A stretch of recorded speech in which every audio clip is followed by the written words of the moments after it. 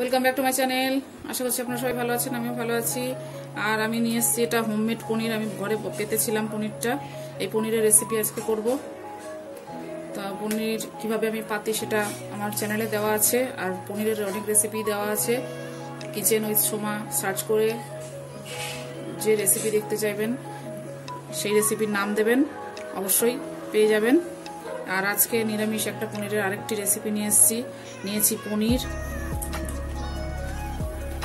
এখানে আমি কাজু বাদাম, টমেটো, আদা, কাঁচা লঙ্কা পেস্ট করে নিয়েছি। এখানে আমুল দুধ এক কাপ, গরম জলে গুলে নিয়েছি। আমি কিন্তু লিকুইড দুধ নয়, আমুল গুঁড়ো দুধ এক কাপ জলে গুলে নিয়েছি। দেব কেওড়া ওয়াটার। এখানে আমি গরম খুব, তাই জন্য আমি ধরেছি। নারকেলটা বেটে গরম জলে ভিজিয়ে রেখেছি। নারকেলের দুধ লাগবে। এখানে কড়া গরম করে আমি সাদা তেল দিয়ে দিচ্ছি।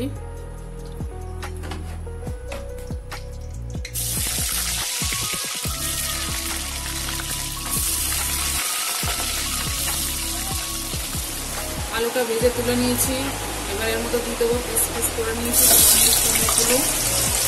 খুব হালকাভাবে ভাজবো।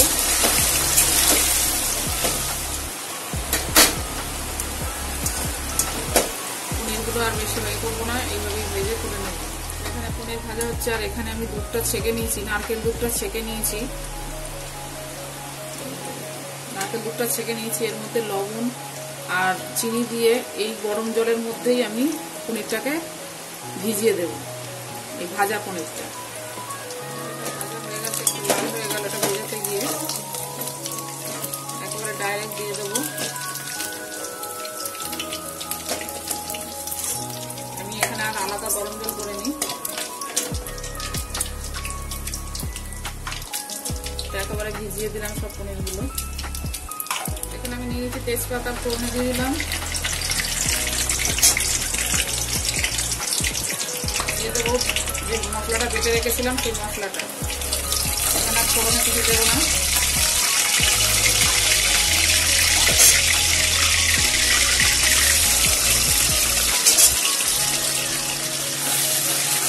দিয়েছি, আর এই দিয়ে একটু জল দিয়ে দিচ্ছি।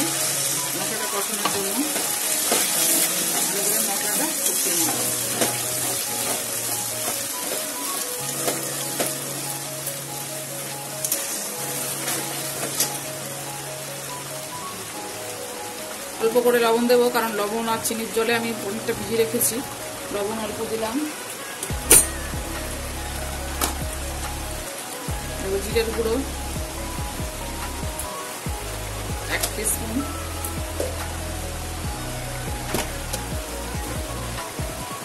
দিয়ে দেবো কাসুরি মেথি।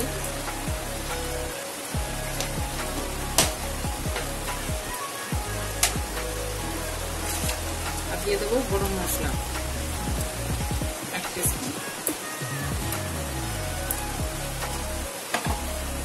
ভালো করে এগুলোকে মিক্স করে দেবো আর এখানে আমি হলুদ ব্যবহার করছি না।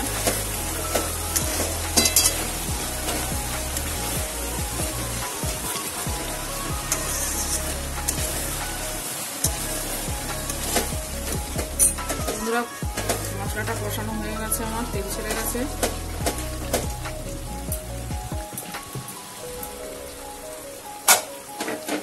দিয়ে দিচ্ছি ভাজা আলুগুলো।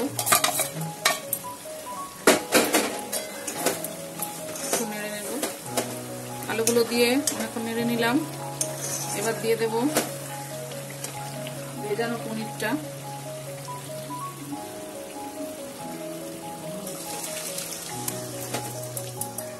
এখানে আপনারা চাইলে আলু নাও দিতে পারেন। আমি দিলাম দিলাম একটু আলু। শুধু পনির দিয়ে করলে সুন্দর হয়। এটা হচ্ছে পনির রেজালা তৈরি করছি। একটু নেড়ে নেব। এটা আমার হয়ে গেছে পনির রেজালাটা। দিয়ে দেব। নামানোর আগে একটুখানি মিঠা আতর।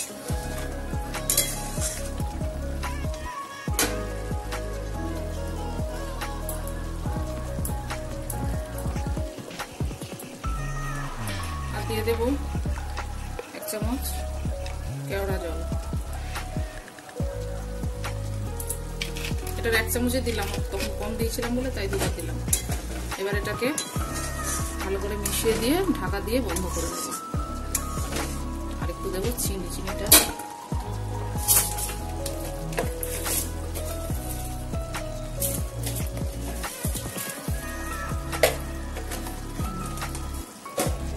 তৈরি হয়ে গেছে আমার পনির রেজালা রেসিপিটা। কেমন লাগল রেসিপিটা কমেন্ট করে জানাবেন অবশ্যই। ভালো লাগলে লাইক শেয়ার করার অনুরোধ রইল। আর প্লিজ আমার চ্যানেলটিকে সাবস্ক্রাইব করবেন। থ্যাংকস ফর ওয়াচিং এইগুলো পনির রেজালা পনির একটাও ভাঙেনি। খুব সফট হয়েছে। যেহেতু ভিজিয়ে রেখেছিলাম গরম জলে, এটাকে ঢাকা দিয়ে দেবে। আর একটু বাটার দিতে হবে, না? বাটার দিতে ভুলে গেছি সরি বন্ধুরা। একটু বাটার দেবো